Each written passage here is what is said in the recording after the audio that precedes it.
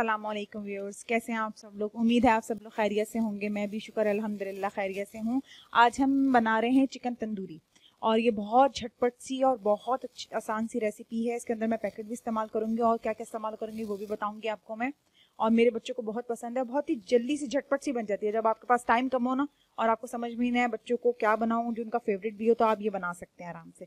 मैंने इसमें आधा किलो चिकन ली है और तंदूरी मसाले का पैकेट लिया है।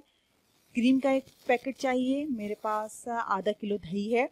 मुझे इसमें कुकिंग ऑयल चाहिए होगा और मुझे कोयला चाहिए होगा दम लगाने के लिए। सबसे पहले हम क्या करेंगे? सबसे पहले हमने जो हमारी चिकन है, ये मेरी धुली हुई, धो ली है मैंने चिकन। इसमें हम कट्स लगा लेंगे। जैसे हम अपने तिक्के में कट लगाते हैं ना, ऐसे हम अपनी चिकन में कट लगा लेंगे सब में।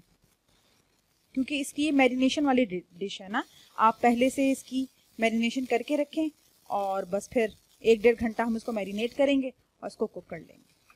तरीके से मैंने इसके अंदर कट लगा लिए हैं सब में ना, ताकि जो मैं मसाला डालूँ ना, वो अच्छे से इसके अंदर रच बस जाए। अब हम जो मैंने आधा किलो दही ली है, वो डालूँगी मैं इसके अंदर। मेरा क्रीम का फुल पैकेट चला जाएगा इसके अंदर।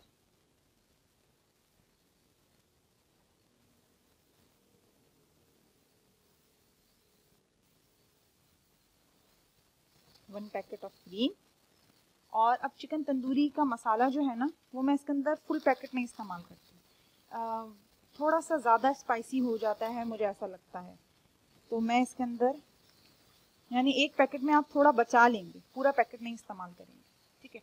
अच्छा इसमें ही मैं दो से तीन चमचे कुकिंग ऑयल भी डाल दूँगी, ठीक है? अब मैं इन सब चीज़ों को ब्लेंड कर लूँगी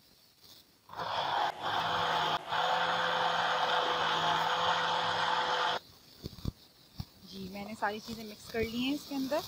और अब अब हमने जितना मसाला पीसा है वो हमने चिकन में डाल दिया। अब इसको अच्छे से मिक्स कर देते हैं। इसमें हमने ऑलरेडी कट लगा रखे हैं तो मसाला खुद ही अंदर तक रच बस जाएगा।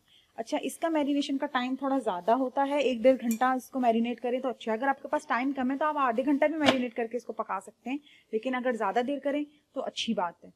अब हम आपसे मिलते हैं एक डेढ़ घंटे के बाद। ये मेरी चिकन तंदूरी एक डेढ़ घंटा हो गया हमारे, मैरिनेट हो गई है। अब हम इसको चूल्हे पे रखते हैं पकाने के लिए, ठीक है? फ्लेम ऑन करते हैं।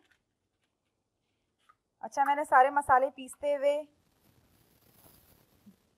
बिस्मिल्लाहिर्रहमानिर्रहीम, मैंने सारे मसाले पीसते हुए भी ऑयल डाला था थोड़ा सा और अब भी मैं थोड़ा सा इसके अंदर दो तीन चमचे और ऑयल डाल के इसको मैं पकने रख दूँगी।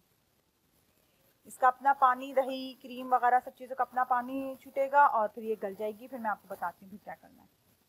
चिकन का पानी खुश्क हो गया या नहीं हुआ? ये देखिए, हमारी चिकन का पानी खुश्क हो गया और मैंने जो आपको कोयला बताया था, शुरू में मैंने यहाँ पे कोयला जला लिया है उसको, गर्म करने रख दिया है। क्योंकि मैंने जब ये डिश बन जाएगी, मैं डिश आउट करूँगी तो मैं आपको बताऊँगी इसको कोयले का दम किस तरह से देना है। बस देखें इसका पानी सारा खुश्क हो गया है तो मैं इसको भून लूँगी। और बस ये रह गई इसका कुकिंग टाइम ज़्यादा नहीं है, बस मैरिनेशन टाइम है। मैंने आपसे कहा था ना, झटपट डिश है कितनी जल्दी से तैयार हो गई है। निकाल दिए अच्छा मेरा बेटा ना बड़े मज़े की बात करता है। कहता है, मुझे ना मम्मा ऑरेंज वाला सालन बनाए पहले तो शुरू में मैं भी नहीं समझी थी। मैंने कहा, ये ऑरेंज वाला सालन कौन सा? फिर मुझे जहन में आया, मैंने कहा अच्छा देखिए, बिल्कुल ऑरेंज ऑरेंज कलर का मेरा सालन रेडी हो गया है। इसकी ग्रेवी भी मैं आपको दिखाऊँ इसके अंदर ग्रेवी भी अच्छी खासी होती है। ये देखिए। ठीक है ना?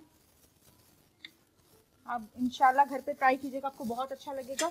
और इसको जिसे कहते हैं चार चाँद लगाने के लिए मैं इसके अंदर ये करती हूँ कि मैंने डबल रोटी का पीस रखा जो मैंने कोयले को गरम किया था।